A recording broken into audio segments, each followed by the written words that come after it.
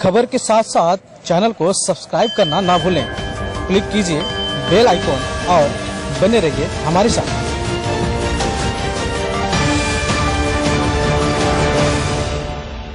की कोशिश हो रही हिंदी बताइए। देखिए कांग्रेस के सभी विधायक आज इस जगह पर लाए गए हैं। एमएलए ने खुद कहा है कि उनको हर जगह से फ़ोन किए जा रहे हैं। होटल्स में भी बीजेपी के लोगों ने रूम्स लेकर वहाँ पर एमएलए को कांटेक्ट करने का प्रयास हो रहा है। और कांग्रेस के कोई आमदा एमएलए जाने वाला नहीं कहीं पर।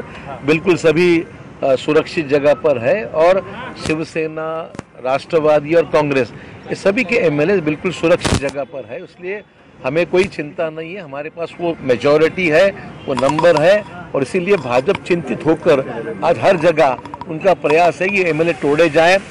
आज सुप्रीम कोर्ट में मामला दर्ज था और सुप्रीम कोर्ट में जो दलीलें हुई जो बहस हुई उसमें तो साफ़ दिखाई दे रहा था कि बीजेपी की ओर से ये प्रयास था कि ज़्यादा वक्त मिले आज संडे में जल्दी क्या है क्या करने की आवश्यकता है अ, ऐसे ऐसी तरीके से तांत्रिक मुद्दों पर ये टाइम मांगने का प्रयास बीजेपी की ओर से किया गया। हम सुप्रीम कोर्ट के आभारी हैं उन्होंने ज़्यादा वक्त नहीं देते हुए कल ही इसके ऊपर बहस रखी है। शायद सवेरे इसका फैसला आना संभाव्य है, उम्मीद है हमें। और हमारे पास ये पूरा स्ट्रेंथ है। उसलिए हम उम्मीद करते हैं कि ये कॉन्फिडेंस मोशन जल्द से जल्द उसकी टाइम टेबल लगाया जाए।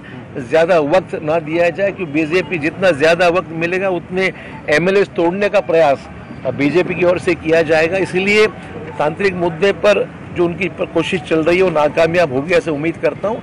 और कल सुप्रीम कोर्ट से पूरा न्याय हमें मिलेगा। ऐसे मुझे पूरी उम्मीद है।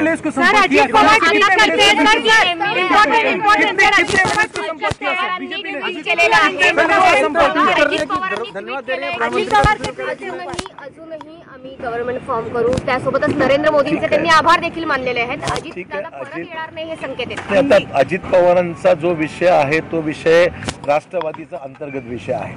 परंतु अजित पवार तिथे या वर्षी आमची आजही भूमिका आहे. पवार साहेब त्यांच्या संपर्क असतील असं माझं मत आहे.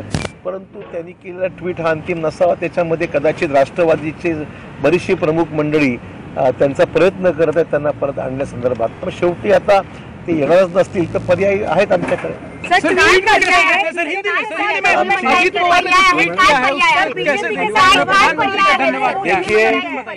उनका धन्यवाद. उन्होंने किस बात से किया? मुझे पता नहीं है कि धन्यवाद करने की स्थिति तो आई नहीं है सरकार जो बनी है तो वो बिल्कुल माइनॉरिटी गवर्नमेंट है और माइनॉरिटी गवर्नमेंट से क्या उम्मीद की जा सकती है? सवाल ये है कि majority floor of the house पे प्रूव करना ज़रूरी है और हमारी ये रिक्वेस्ट रहेगी गवर्नर साहब से भी कि प्रोटम स्पीकर की जो अपॉइंटमेंट है वो प्रथा परंपरा को ध्यान में रखते हुए जो सीनियर मोस्ट व्यक्ति है हाउस का, उसे प्रोटम स्पीकर अनाउंस करें ताकि जो प्रेसिडेंस है हाउस का जो कन्वेंशन है उसको बरकरार रखा जाए और कन्वेंशन के अनुसार सीनियर मोस्ट व्यक्ति जो भी हाउस का कोई भी पार्टी का हो उसे सीनियर मोस्ट व्यक्ति को अपॉइंटमेंट आप लोग किसे चाहते हैं? हमारे चाहने का सवाल हमारे हमारे किसी को चाहने का सवाल नहीं है। हाउस की कार्रवाई बिल्कुल ट्रांसपेरेंसी से होनी चाहिए। उसमें कोई गड़बड़ नहीं होनी चाहिए।